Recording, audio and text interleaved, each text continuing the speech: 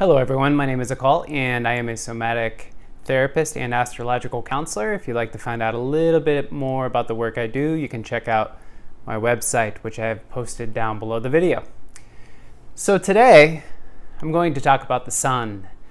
Um, so, the sun is, is uh, it's interesting. Like, I think most of the time, most of us, when we get into astrology, this is initially what we end up looking at is uh, I'm a sun in Taurus or I'm a sun in Leo or whatever it may be. Um, and oftentimes we just kind of glaze over the rest of the chart because the sun is a extremely, uh, well, extremely noticeable and potent energy in our life because it is kind of like, uh, well, it basically represents what animates our existence. Um, and that's a little bit vague, I understand. But the sun in and of itself is both, in my opinion, both vague as well as overt and obvious.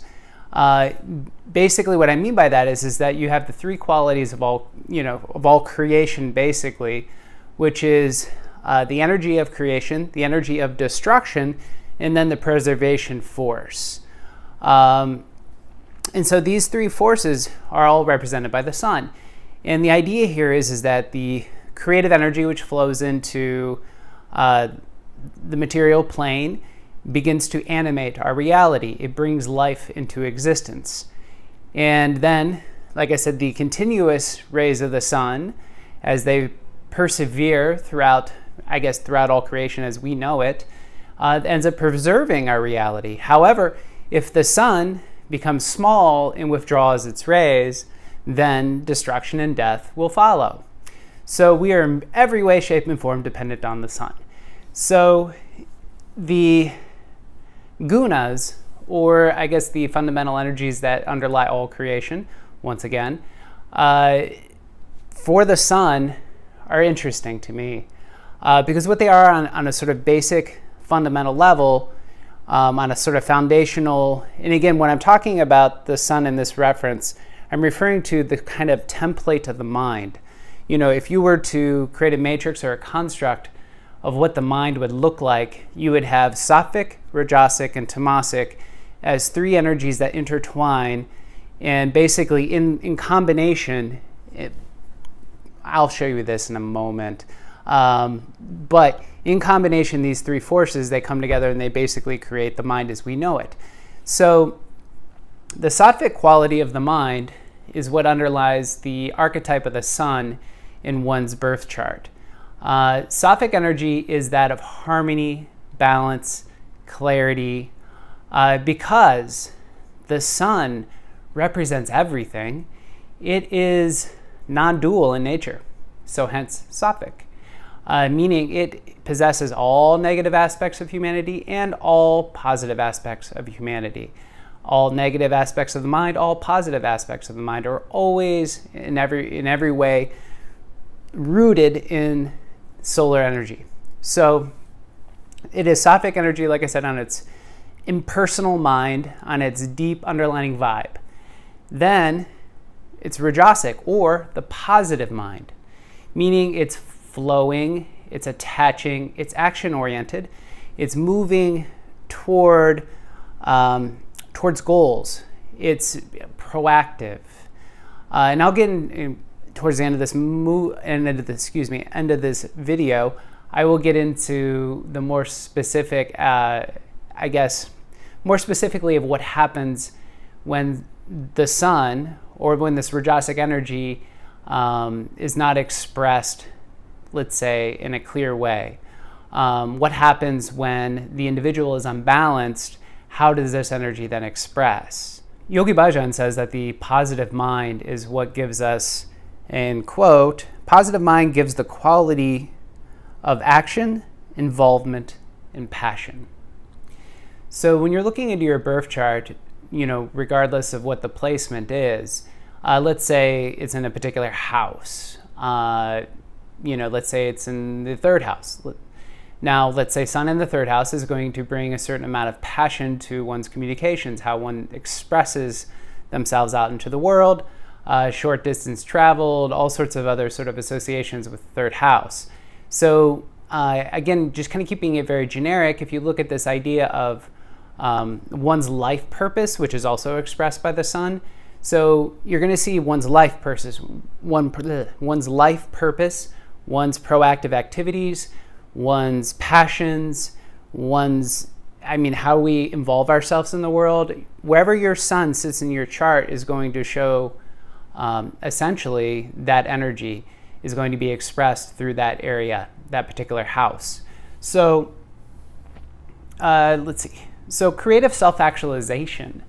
Um, creative self-actualization, integrative principle, our purpose, uh, all these basically are expressing uh, the, the same idea, which is um, it is the life force that is driving us and moving through us that often we aren't even operating on a conscious level with that's driving a lot of our actions. And I won't say these are the desires necessarily.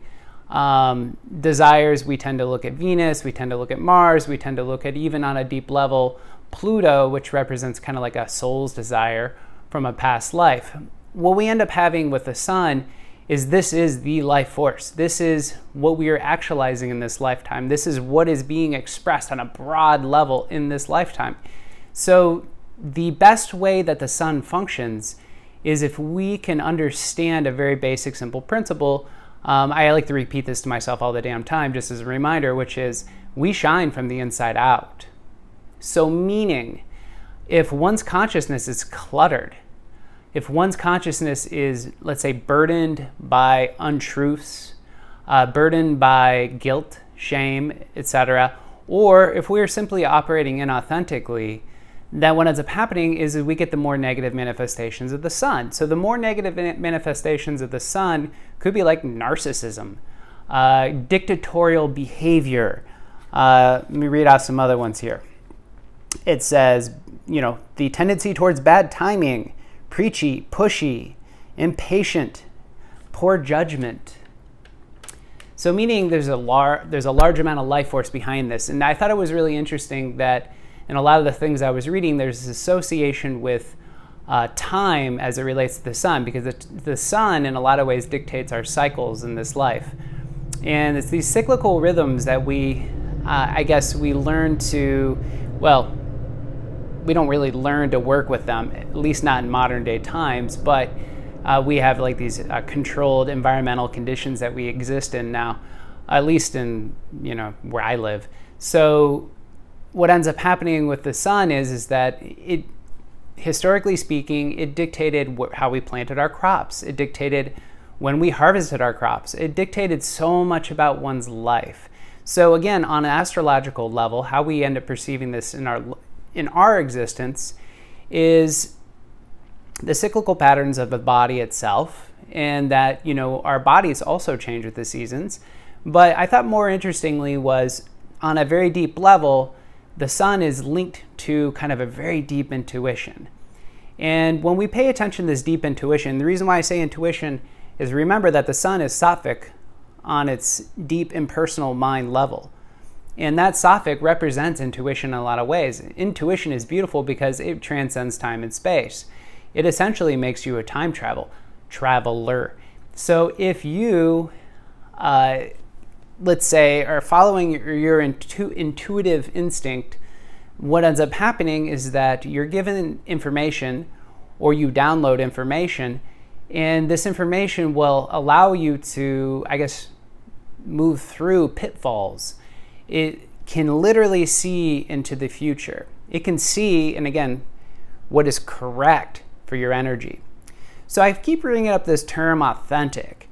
Um, authenticity to me, just uh, just to clarify what I mean by that word, authenticity to me is when I guess that, that idea that we shine from the inside out, it means that our internal, I guess our internal um, our internal ruminations and our internal understanding and our internal connection to intuition and instinct is in harmony with what we're expressing out into the world. And that's what I mean by authentic. Uh, another way that we can look at this idea of authenticity um, as it relates to the sun, uh, and I'll go ahead and read a quote. Um, this is from Bepin Behari, and the quote is it says, The total quantum of divine energy flowing through different levels of the individual and the quality of its manifestation. Very wordy. Uh, basically, what he's referring to is this this symbol. So, the symbol of the sun is a big circle with a dot in the middle. Now, the dot in the middle represents, as I perceive it, the infinite, it represents source. And how we experience the infinite in the source within our existence, to make this relevant to each of us, is consciousness itself, its presence itself. So it's not something you can look at, it's not something you have any idea of because it has no dimension. It's a dot. Again, that's just the representation. But even a dot, as we would draw it, has dimension. So immediately, this is just a, a bad representation of, of the reality, which is that this is immeasurable. So now where we can interact and we can measure is the circle or the outer ring, uh, the circumference of the circle. So what we see here is the arc of our lifetime in a lot of ways. We see, you know, you can look at the arc that the sun follows through the constellations as it, you know, goes through, you know, the sky at different times of year, et cetera, et cetera.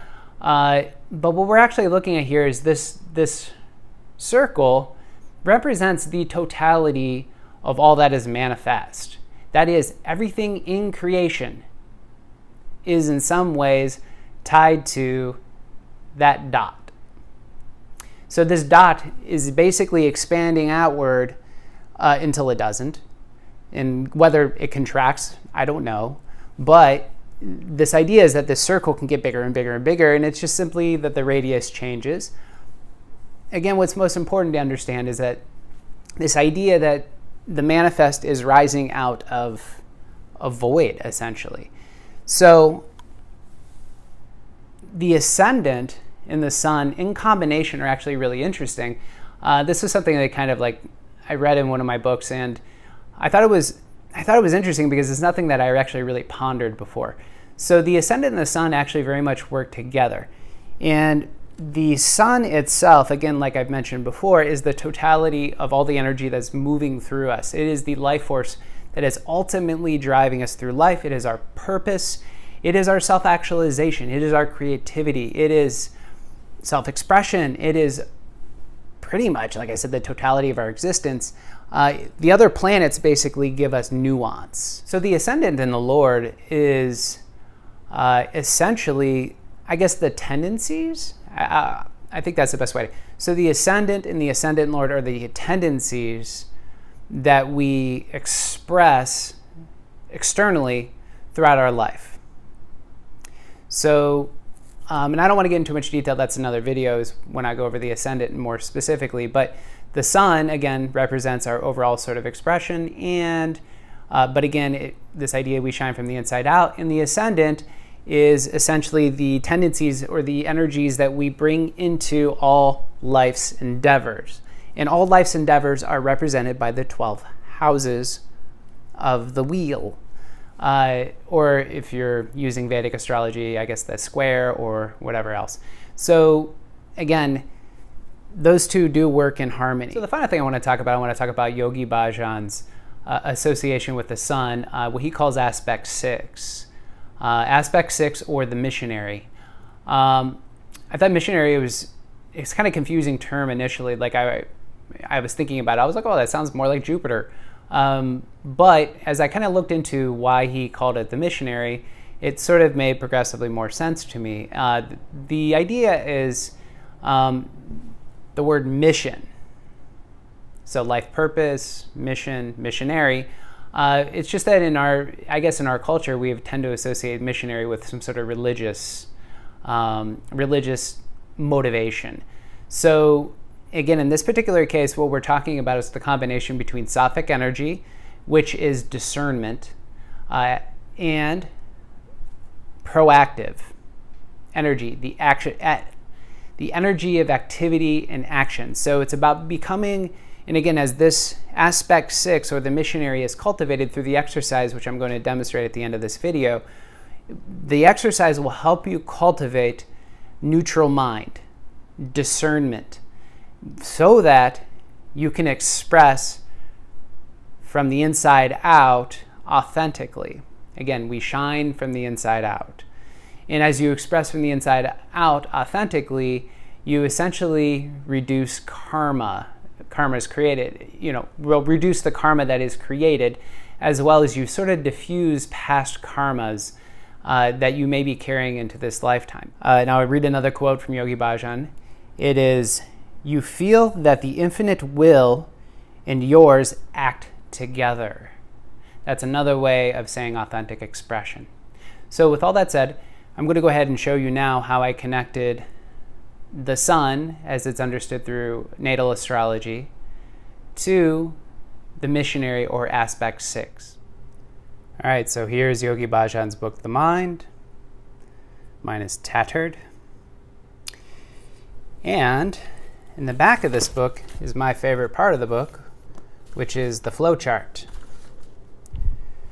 So what this flowchart is showing, again, it says the universal mind, chitta, and we have the three basic qualities that exist in all creation and all nature, which is tamasic, which is like inertia, rajasic, which is action or attaching energy, and sattvic, which is neutral, clarity, harmony, balance. Now, with the sun, we had sattvic energy on its base, and then it flows downward to the positive mind or the missionary. So that is aspect six, the missionary. Then what we do is we flip through the book. We find aspect six. Here's the qualities. And the meditation, which is the Kundalini Yoga Laya meditation. And here's the meditation itself. And it's done for 31 minutes. So I'm going to go ahead in the next segment, I'm going to go ahead and show you how to do this. All right, so I'm going to go ahead and show you how to do uh, aspect six, the missionary or the Laya, the Kundalini Yoga Laya meditation. So, this particular exercise, um, it sort of epitomizes in a lot of ways uh, the sort of idea of spiritual pressure, of how one moves, at least energetically, how we move towards enlightenment, uh, at least through technique. So, and again, the assumption here, the technique in and of itself isn't the point. That's one thing that needs to be said, is that it's always about the meditation. It's always about, uh, you know, the progression towards enlightenment is always through contemplation, concentration, meditation. And what I mean by meditation has to do with surrender. So this is about precise action. And this is one of the reasons I think the word yoga is really interesting is it's the idea of to bring something into into union or to yoke something. So, bringing something into union, well, what exactly are we bringing into union? In this particular case, and with the case of all technique within any yogic system, the point is always about concentration. It's about essentially bringing your awareness to either many small points or a singular point and then letting go into open awareness and to surrender and to allow life force and energy simply to flow. So, with this particular meditation, uh, like I said, it kind of epitomizes this idea of the pressure gradient that exists within. And so, in order for us to have experiences, in order for us to, uh, let's say, purge patterns, uh, one of the things that you can do is that you stimulate the nervous, nervous system in a very precise way. In this stimulation, the nervous system sends a signal to the subconscious that it's okay to let something go because again everything that functions within the human um, within human awareness really has to do with well the awareness itself. And what i mean by that is is that if something is in the shadows we don't liberate ourselves from it until well it's no longer in the shadows. Meaning it's been brought to our awareness either through um, our own sort of process of contemplation or somebody show well or the universe somebody, life, showed us what we needed to see and what we needed to perceive. And again, everything is really about growth from point A to point B, from birth to death. It's about this progression of growth or not growth if we're not growing. So this this exercise, like I said, it's what it's going to be done. It's going to be initiated from the hara, from the lower dantian, whatever you want to call it, the navel point. And so what we're going to do is the first sound we're going to make, we're going to be pulling that in. So be pulling in the navel point, the belt line. And again, this is the first pressure up. And then what we're going to be doing is we're going to be moving our awareness. And a Yogi Bhajan likes to say it's a three and a half circle rotation or spiral or helices or helix as we move up the spine. So by the time we get to the last portion of this mantra, our awareness is above the head. So, and I'm going to break this apart for you. So the words are as follows. And I'm going to put these on the screen so you can see them uh, because my pronunciation is probably marginal. So the first sec section is ek is the first sound. And with ek, ek, what you're going to do is you're going to pull in your belt line. So again, it sets that base pressure. And then it's ong, O-N-G. And ong is an interesting sound. They use this a lot in Kundalini Yoga um, because it resonates up in here. It resonates up in the third eye point. It resonates in what they call the sella turcica. And within the sella turcica, I believe it's the, the pituitary gland hangs down there. So we're essentially vibrating the pituitary gland when you make the sound ong, because O-N-G, the tongue will hit the roof of the mouth, and you create a vibration up in your sinus when you make the sound. So the sound essentially comes out the nose. So it's ek, ong, kar, and so it's ek, ong, kar. Now the final part of that first section of the mantra, and this this happens with the with two of the other sections as well there's a hyphen and an A. So it's ek onkara. So this ah sound, uh, what we're doing is as you make that sound ah, and you can think about it as a UH, you can think of it as an AH, you can think about it just as an A. Uh, but what it does is that when you exhale, particularly when you exhale forcefully, what it does is it pulls the diaphragm up. So if you exhale all your air out, which is the only way to really truly contract your core fully, because the diaphragm's up out of the way underneath the ribs. So when you make that sound, uh, the diaphragm will go up under the ribs. So that is the second level of hydraulics.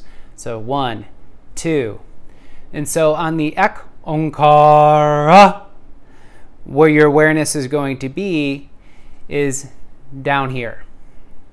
On the second part of the mantra, it, your awareness is going to be up around the ribs in the heart area. So I would just say kind of solar plexus, ribs. Uh, this meditation is interesting because what we're doing is we're traversing these what they call yogic, yogic knots. Um, the yogic knots, well, I don't want to get into too much detail about them, but they're essentially areas where there are energetic restrictions naturally. So there's a yogic knot here. So when your when your speech is unauthentic, energy doesn't flow correctly. There's a yogic knot across the brow point and that knot is caused by you know well the way i perceive it is too much external focus. Your mind's too busy etc you're uh, essentially you're mired in material existence. And it's not until you relinquish the tendency to uh, depend on the eyes to see that the inner seeing starts to happen. So and again what we're doing with all these uh, this particular exercise we're traversing all these knots so next section is uh, Satanama. So it's, and again, I'll, I'll, put this all on the screen. And then the final section in with Satanama, your, again, your awareness is through here. Then Siriwa, awareness is up through here. And then the final section is your awareness is going to go up above the crown. So you want to bring the awareness above the crown and you want to relax your belly and then it's hey guru. Then it's inhale again. Awareness back down to the navel. So in a lot of ways what we're doing is we're creating an orbit. So we're moving up, up, up, up, up, up, up through this hydraulic process, making these sounds. And then we're inhaling and moving back down to the navel to repeat the process again. Mudra. Hand position, just simply prayer pose. You have the hands out in front of the chest. The eyes, hmm, I don't see, yeah, I don't see where it specifies. So, oh, wait, yes, he does. He says uh, focus on the brow point. So otherwise your eyes are closed, slightly rolled up, and it's like you're gazing at the brow point, or if you follow the brow point in towards the center of the head, and that's where you want to kind of set your gaze. So I'm going to go ahead and do this mantra so you can hear what it sounds like. So once again, bring the hands into a prayer.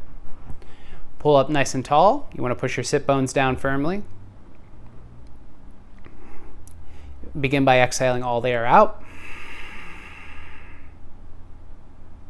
Inhale, deep breath. And you're going to begin once again by pulling in the belt line. Hek. Onkara. Satanama. Siriwa. Hey Guru.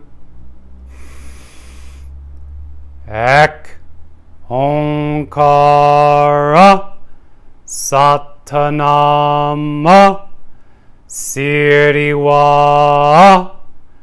Hey Guru. And then to finish this meditation, inhale, you retain the breath. Mm, think about 10 to 20 seconds, and you want to you could repeat this up to two to three times exhale, and relax. Now, the total duration of time you want to do this meditation is that the book says 31 minutes. Uh, my suggestion is you want to kind of start off slow. It's not a difficult meditation.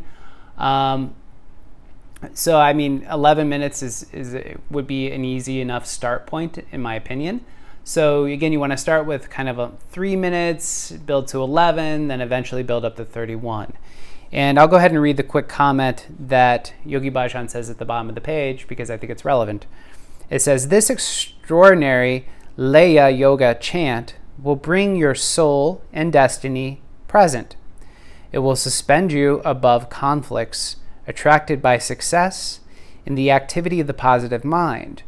Sounds a little like Leo, if I'm to think about Leo characteristics just a little bit. Uh, it will let you excuse me, it will let your activity serve your purpose. It will make you creative and focused on your real priorities and help you sacrifice what is needed to accomplish them. So with all that said, I hopefully you enjoyed this video and I appreciate you watching.